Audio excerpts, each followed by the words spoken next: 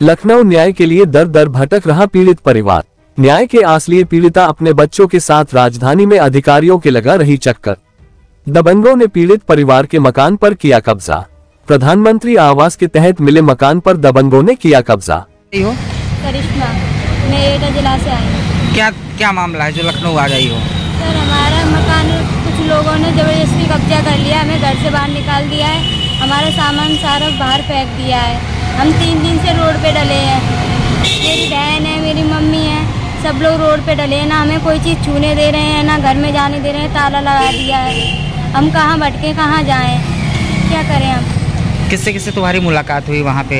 हमने सबसे मुलाकात की डीएम से कोर्ट भी गए और एचएसओ से भी मिले। किसी ने कोई हेल्प नहीं की कोई नहीं कर रहा। लखनऊ में कहाँ कहाँ एप्लीकेशन दी हो?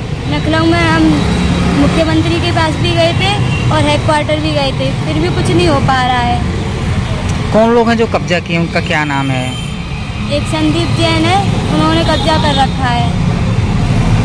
उनकी पावर है पैसा है उनने कब्जा कर रखा है। पुलिस क्यों नहीं मदद कर रही है? पुलिस को उनने खरीद रखा है। हम इतनी बार गए हमें भगा दिया जाता है।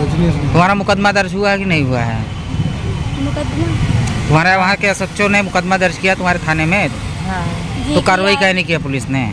पता नहीं क्यों नहीं कर रहे हैं। सब पैसे खिला दिए ना उन लोगों ने। कोई कार्रवाई नहीं कर रहा हम हर जगह जा चुके हैं। अगर इंसाफ नहीं मिलेगा तो क्या करोगे? इंसाफ अगर नहीं मिला इंसाफ तो नहीं मिला तो हमारे पास एक ही चारा है, आत्महत्या हम कहाँ जाएँगे? क्या। करेंगे? मुझे मकान चाहिए हमारे पास भाई है नहीं है नंबर भेजा तुमने? आई समझ में मैं ही। मेरी दो दो बेटियाँ तीन दिन से सड़क पे पड़े हैं मेरी माँ की क्या हालत हो गई है क्या किया जाएगा? बताओ मैं क्या कोई हेल्प नहीं कर रहा। यहाँ इंसाफ मिलेगा मैं इंसाफ ना मिलो।